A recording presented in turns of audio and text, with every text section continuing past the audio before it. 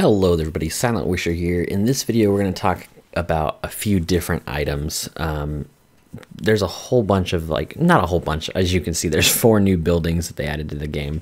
Um, a large storage ring being one of them. And then we have uh, large hoop platforms A, B, and then a large arch building.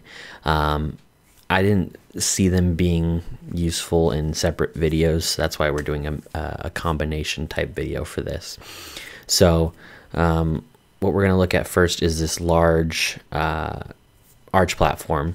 And as you can see, it is very large. Um, it's got a few different mounting points on the top. Uh, they're two prongers and then a bunch of single ones or couple single ones as well. And then some power connectors on the side. Um, those single ones are reactionary ports. So if you put um, like fireworks on them, for example, uh, they will react when somebody like drives through them, or not drives through them, rather, um, when a uh, a ball rolls through it. It's kind of like a goal, similar to the goals.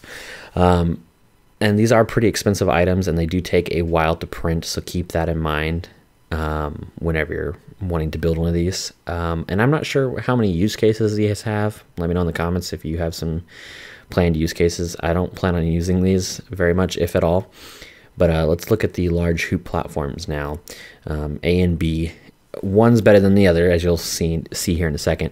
Uh, the large platform to the left here, the B, has two two prong storages at the bottom, as well as you know all the power connectors and reactionary ports throughout the um, the loop. And then the A platform does not. It has two power connectors instead of four. It has no storage on the bottom and just on the uh, ring itself. Now, as you can see, the large storage ring or loop, whichever you prefer, will attach, it has to attach to some sort of two prong storage device, which we will attach right now. Um, and as you can see, it's just a sing a single loop, basically a single ring. Um, so whatever use case you find for that, cool. Let me know in the comments.